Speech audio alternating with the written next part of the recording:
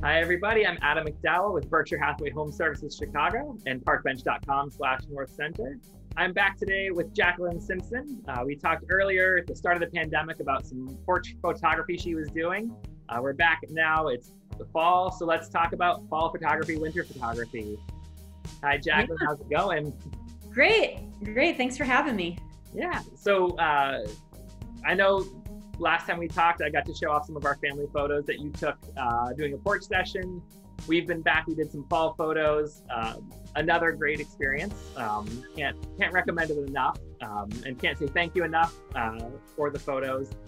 But it's not too late for people who want to do some fall photos. We have a little bit of warm weather left. Um, they can get some some uh, holiday cards put together real quick. Um, tell us what you're doing this fall and, and, maybe into the winter as well. Yeah, yeah. So for the rest of the fall, we still have a lot of uh, options open.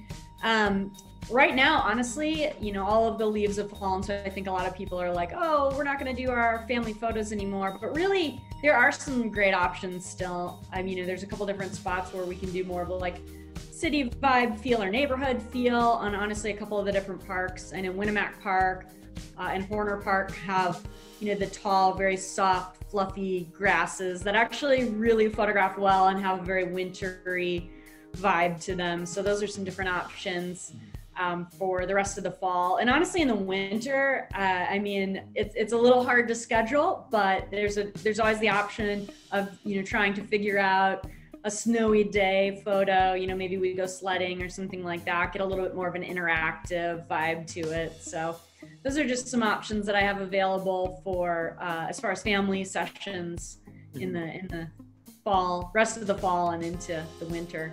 Yeah, so those winter now. Yeah, those those snowy day sessions they'll be they'll be sort of booked the week of, right? Um, yeah, I think that they're.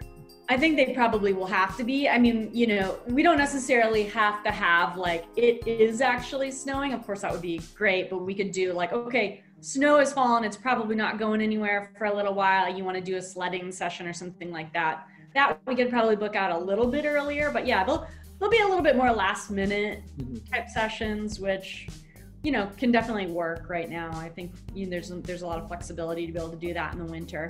Yeah, and um, you know I mentioned the pandemic at the top.